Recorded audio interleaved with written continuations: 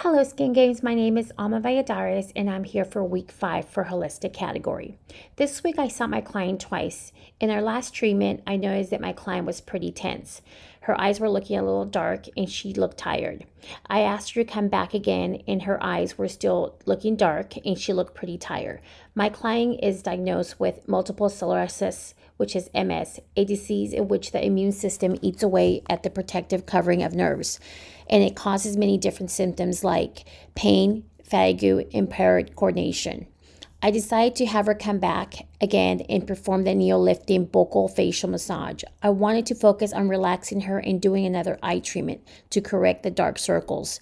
I use DBH Dark Spot Clear, which focuses on dark spots. It has um, tetrahexyldecyl ascorbate THD, which stimulates collagen production, as well as clarifying and brightening the skin. And also contains arbutin, an antioxidant that helps brighten skin and promotes even skin tone. I then added the DBH cellular hydration mask on top of that.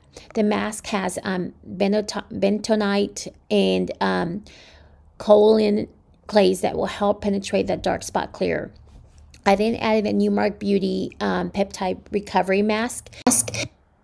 This mask, it helps with aiding of the brightening the skin. It hydrates and calms the skin.